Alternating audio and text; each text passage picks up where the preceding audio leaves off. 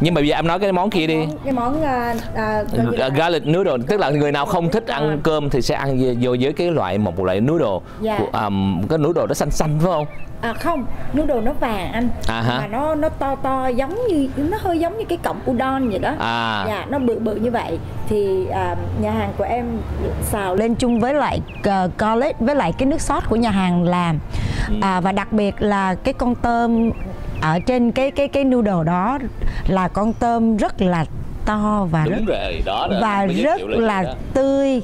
À, quý vị biết không cái con tôm này á, là ở đây là hầu như nhà, không có nhà hàng nào dám bán bởi vì nó phải nói là lấy ở um, à, chợ Mỹ lớn đó. Hả. mà mình mình phải lấy một cái số lượng một cái số tiền lớn thì mới lấy được cái loại tôm đó. À và tôm nó rất là mắc. Có những mắt thì bán mắc thì khách không ăn phải không? Nên bán vừa phải thì lỗ phải không? Mà khổ nổi là ờ, em nói với anh rồi mình là nghệ sĩ cho nên cái gì mình cũng thích đẹp và thích ngon hết cho nên À. cho nên quán trên vẫn bán cái cái món đó. Như vậy quý vị có thể đến với tiệm uh, trend của Minh Tuyết thì quý vị có thể hỏi cái món garlic noodle with brown.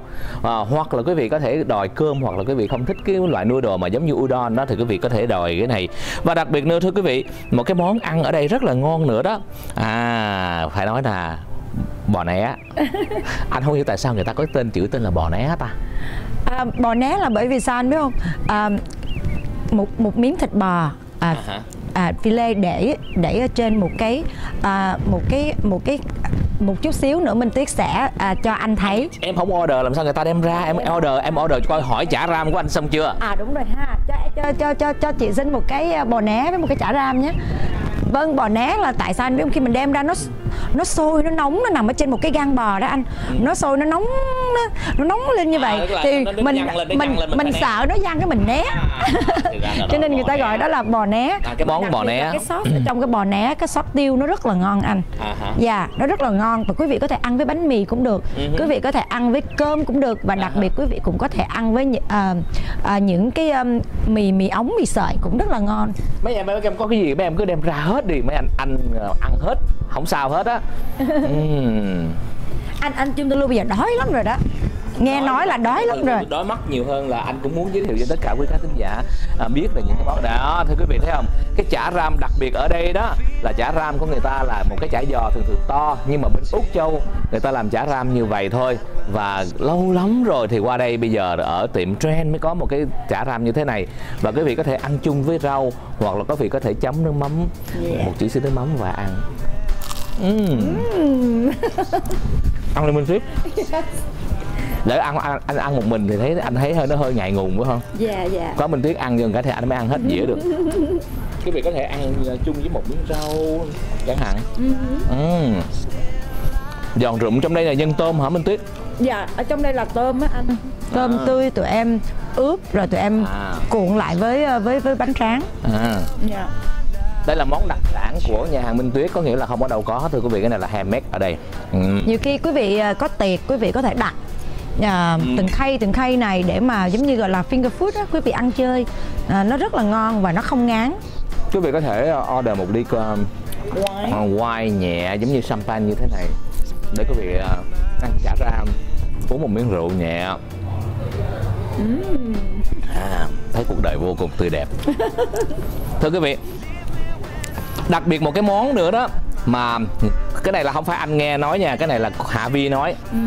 Và rất là nhiều người nói nói nghệ sĩ đó nói cho anh luôn luôn à, bữa nào mình đi ăn lẩu một người không? Cái anh nói chứ thường thường ăn lẩu là ăn lẩu bốn người năm người sáu người chứ tại sao ăn lẩu một người?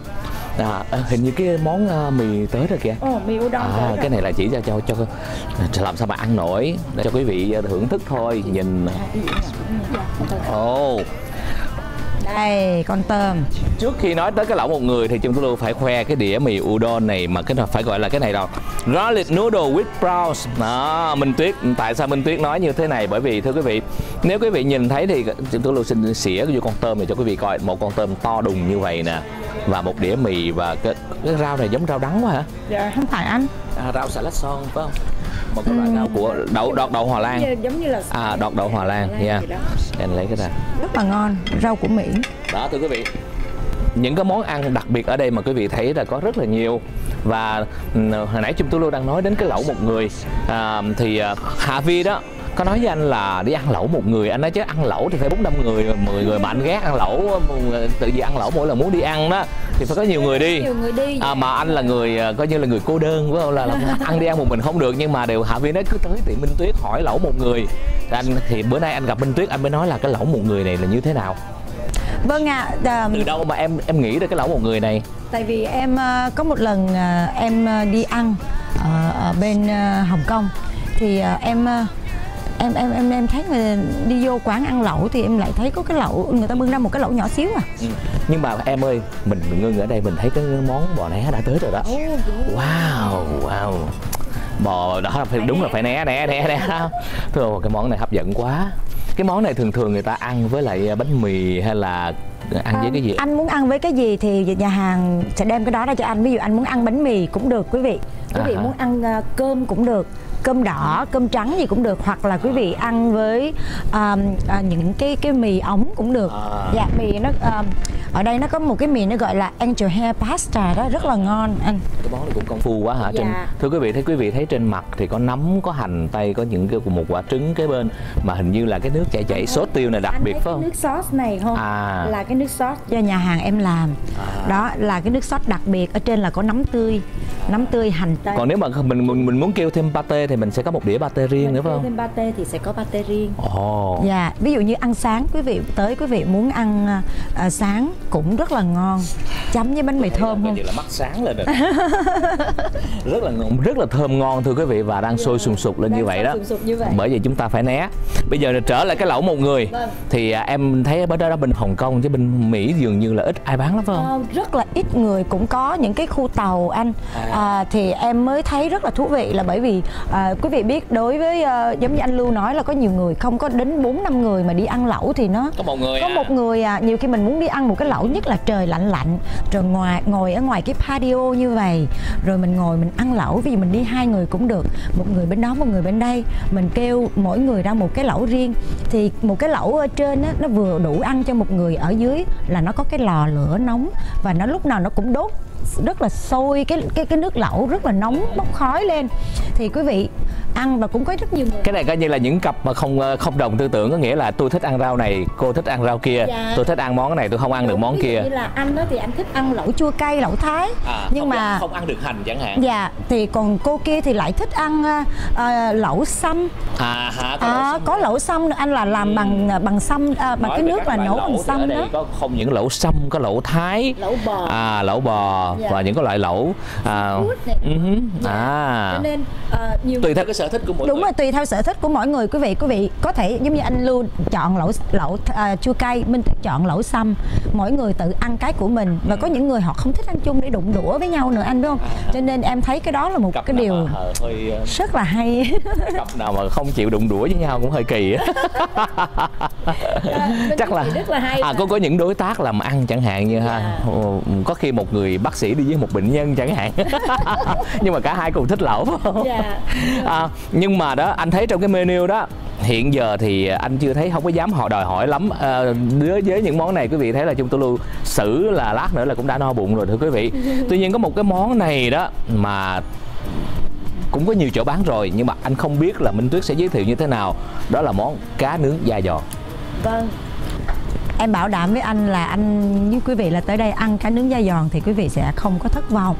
cái đặc biệt khác là cái chỗ nào Vâng thưa anh. Như thưa quý vị là tại tiệm của Minh Tuyết là ngày nào cũng đi mua cá tươi về và làm hết làm cá tươi để mà à, cho quý vị ăn được những cái cá thật là tươi à, lựa những loại cá tốt nhất rồi và bỏ vô những cái lò nướng chuyên nghiệp để mà nướng cá và đặc biệt là mắm nêm tụi em À, anh pha chi hồi nãy em em em em em em em cứ hỏi cái cái người quản lý ở đây là cái lò nướng về chưa cái lò nướng về chưa em phải order cái lò riêng vậy đấy hả Dạ vâng, tại vì à, em phải làm một cái lò riêng, order một cái lò riêng À. và cho cho cho cái nướng cá only thôi. À. Dạ.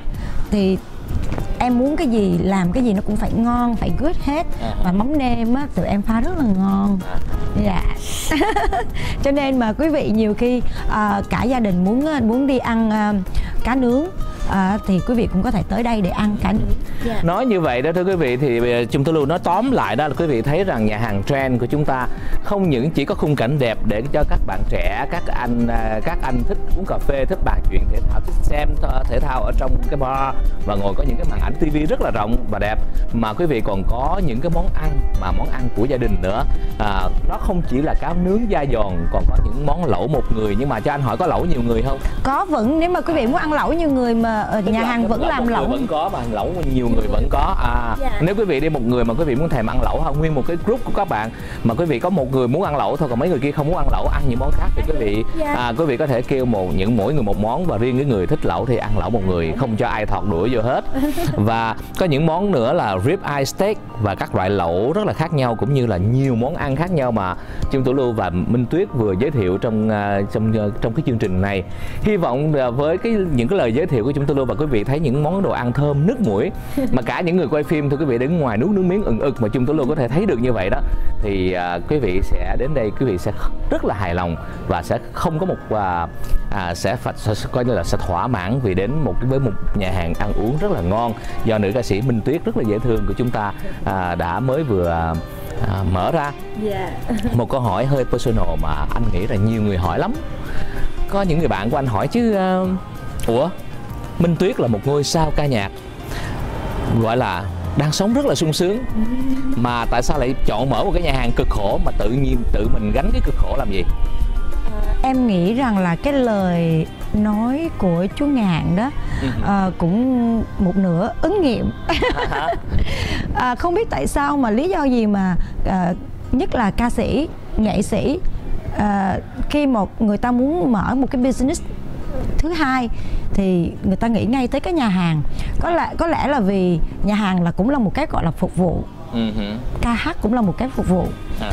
và với lại nhà hàng á được một cái rằng là tại vì khi tụi em đi hát đó tụi em rất muốn có một cái chỗ dễ thương à, lịch sự à, khung cảnh đẹp à, đồ ăn ngon để mà mỗi lần tụi em đi hát xa về rồi có một cái chỗ mà hang out ngồi với bạn bè của mình uống một ly wine uống một chai bia. Uống một ly chia. Dạ ăn một ly chia rồi ăn một miếng đồ ăn nhấm nháp nói chuyện tán gẫu về những cái show của mình đi.